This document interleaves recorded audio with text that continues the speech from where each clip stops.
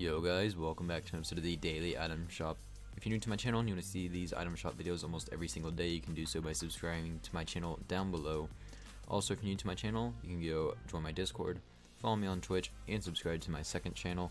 Links to all three of those will be down in the description below.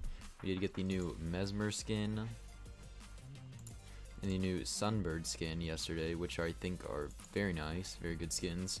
And um, maybe we'll keep them for a second day here. Maybe we'll get something new. Who knows? Uh, hoping for something new for sure.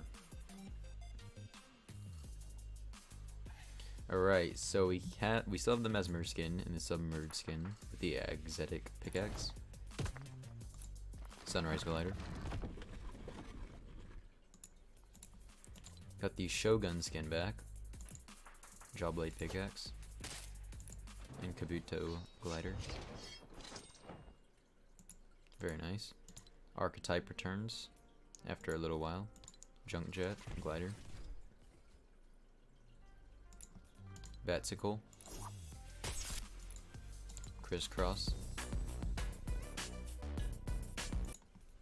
Grill Sergeant. And the new Shadow Boxer emote.